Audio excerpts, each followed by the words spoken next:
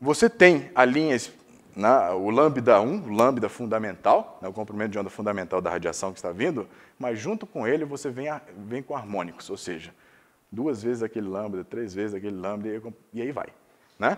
Cada um com uma probabilidade diferente. Então, se você está fazendo estudos ah, que são puramente quantitativos, você não pode ter nenhuma interferência. Se você quer seu fóton a 10 eletronvolts, você não quer ele a 20, porque a 20 ele vai causar efeitos devastadores no seu experimento. Né? Então, uma das ideias ah, foi tentar se livrar né, do, dessas contribuições de ordem superior para a radiação, que tornava inviável fazer né, ah, estudos de, de né, eh, muito acurados, né, que a gente precisa garantir que ordens superiores da radiação não interagem com o nosso sistema. Então, foi uma sacada bem bacana do grupo de espectroscopia lá fazer um, um filtro de gás. Né? Então, essa é uma linha de luz, então a radiação do anel, aquele que eu mostrei para vocês, vem daqui de dentro, até aqui a luz branca, passando dessa, dessa entrada aqui, dessa fenda de entrada que a gente controla o tamanho do feixe que entra, né, e tem o monocromador. Esse cara faz o trabalho sujo, ou o trabalho limpo, né, de filtrar os comprimentos de onda e deixar passar apenas os comprimentos de onda que a gente tem interesse. Né?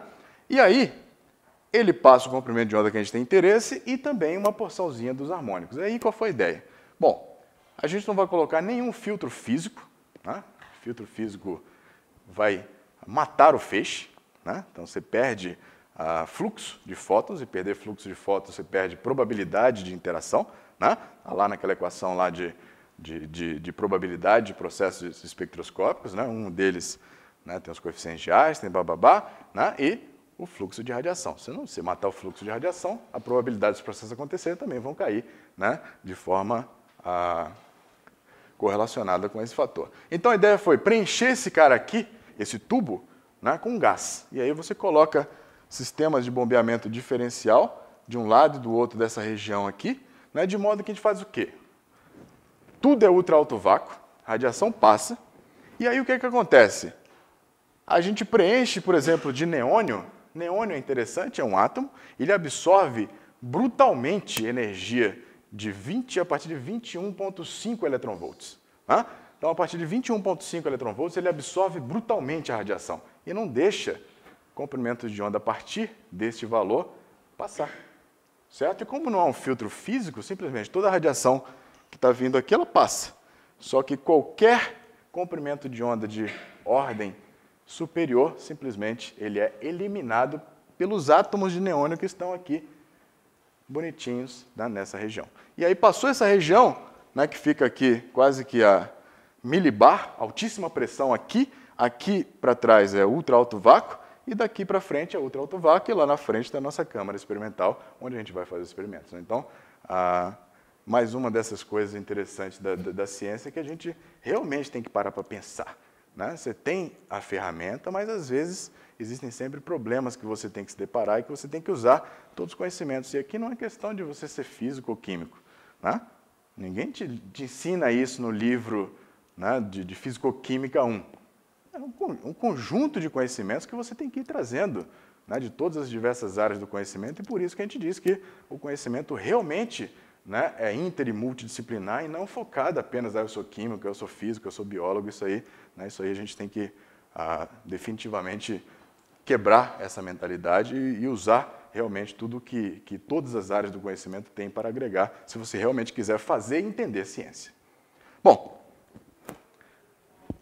para terminar, vou mostrar aqui também alguns resultados que é do outro lado do espectro. Então, eu mostrei resultados envolvendo o processo de camada de valência, elétrons né, mais próximos do, exterior da, da, da, molécula, aqueles mais relacionados com as ligações químicas, mas eu falei para vocês que os elétrons internos são extremamente importantes.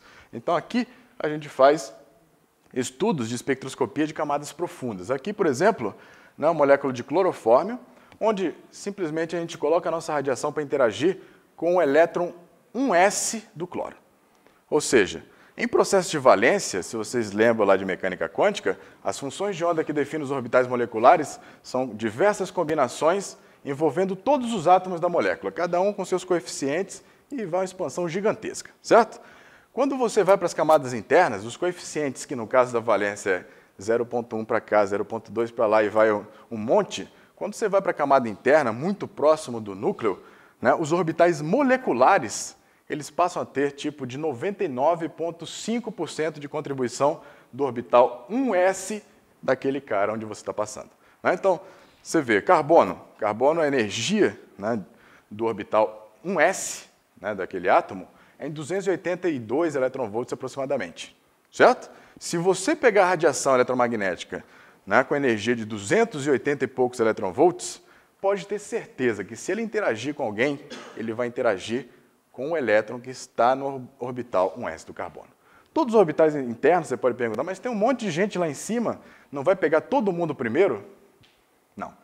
E se você estudar nos processos de interação da radiação com a matéria, você vai ver que a maior probabilidade é realmente dele interagir com algo que tenha a mesma ordem de magnitude de comprimento de onda.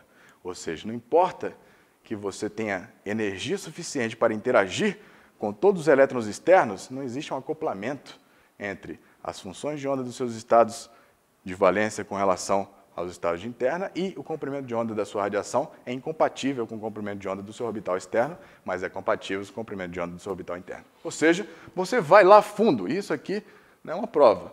Aqui a gente está varrendo em torno de 2.800 eletronvolts.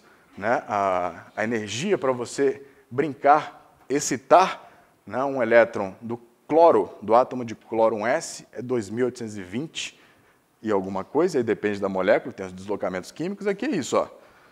Aqui eu tenho processo né, que está acima do orbital 1s do cloro, ou seja, eu não estou interagindo com o orbital 1s do cloro, estou interagindo com camadas superiores, se interagir. Né? E aqui o que, que eu tenho? Eu tenho um processo de absorção e esse cara está sendo excitado do 1s do cloro na minha molécula, meu fóton não vai para a molécula inteira, ele vai interagir exatamente na região de densidade de probabilidade onde está o elétron 1s do cloro, e eu vou tirar aquele cara e mandar para o orbital sigma vazio, que é a minha primeira solução permitida da equação de Schrödinger lá, no meu sistema, meu orbital virtual.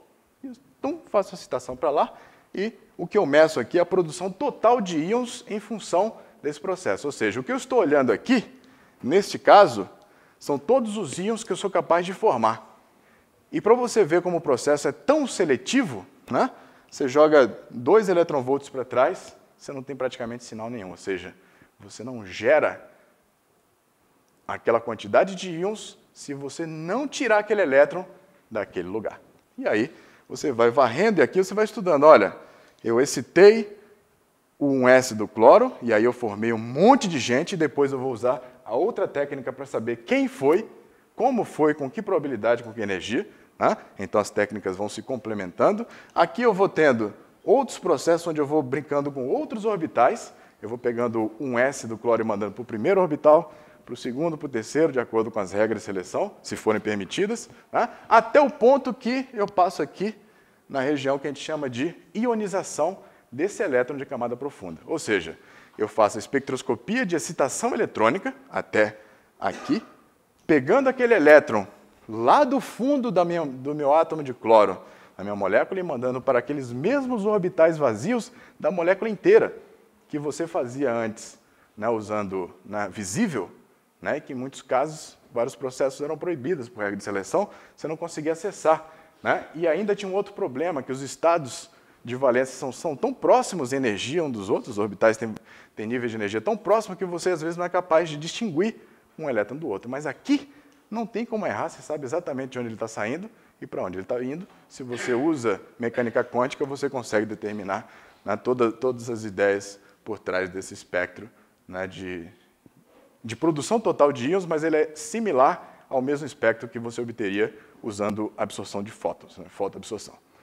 Aqui, Aqui já são processos onde a gente olha para os diversos ânions que são formados dessa molécula.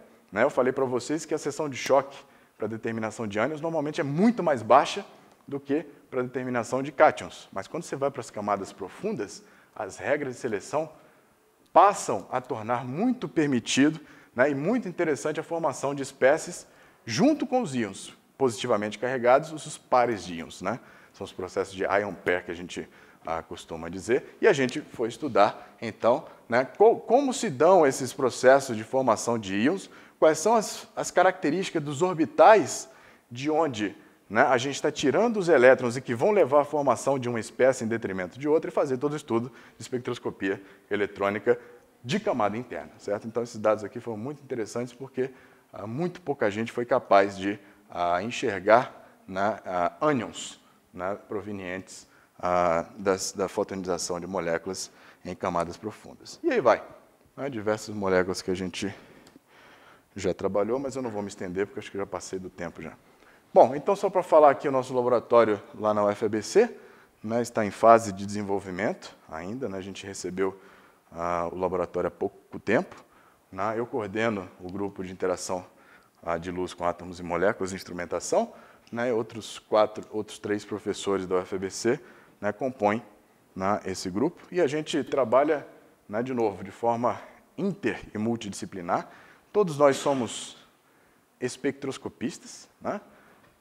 químicos, físicos, né? gente que trabalha com lasers, com espectroscopia rotacional, vibracional, Raman, espectroscopia eletrônica e física de lasers, e espectroscopia eletrônica, espectrometria de massa, termoquímica, termodinâmica, mecânica quântica, etc. Ou seja, né, é mais uma ideia do que, né, que a gente enxerga, a nossa instituição enxerga desde o primeiro dia que ela foi criada, a ideia de multidisciplinaridade como sendo o foco para conseguir né, avançar em ciência, avançar em tecnologia e, o mais importante, avançar no que diz respeito à formação de recursos humanos. Né? Nós queremos que nossos alunos entrem totalmente né, com aqueles vazios de conhecimento que são comuns a todos os alunos de todas as instituições ah, brasileiras e que eles saiam com conhecimento muito sólido das diversas áreas do conhecimento. Ou seja, todos os nossos alunos são obrigados a fazer todas aquelas disciplinas chatas desde o dia, primeiro dia que eles entram, independente se eles vão fazer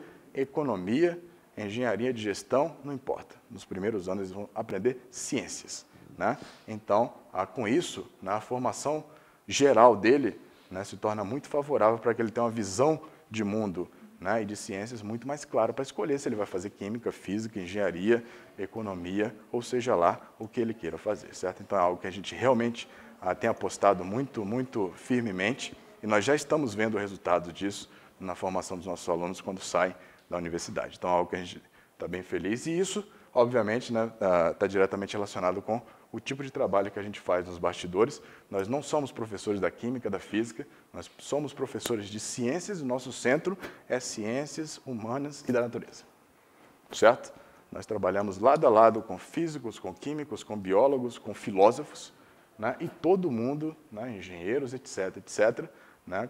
olhando para ciência. Ciência é universal, não tem distinção. Depois você vai se especializar em alguma coisa, mas se você não souber natureza, o que, a natureza né, te mostra, aí fica difícil entender as especificidades. Bom, eu vou parar por aqui, que eu falei demais, né, você devia até ter me cortado. Ah, só falando para fechar das diversas cooperações que a gente mantém, né, aqui e fora do Brasil, né, e o apoio das agências de fomento e da, da UFABC, que tornam possível esse modelo de fazer ciência, né, de tornar a, a nossa vida menos complicada do que já é naturalmente, você conseguir se afastar um, dois, três meses para fazer experimentos em algum lugar do mundo, né, de forma focada, de forma centrada, sem ter que ter coordenador, diretor na sua cabeça. Não, é sua aula, sua aula, babá. Né, então, né, o sistema lá está montado de tal forma para que torne possível que a gente faça as nossas atribuições da melhor forma possível, que é formar recursos humanos de qualidade, e ao mesmo tempo que a gente tenha meios de fazer o que a gente sabe fazer bem, que é pesquisa de qualidade, certo? Então, ah, bom, acho que era isso. Vou ficar por aqui.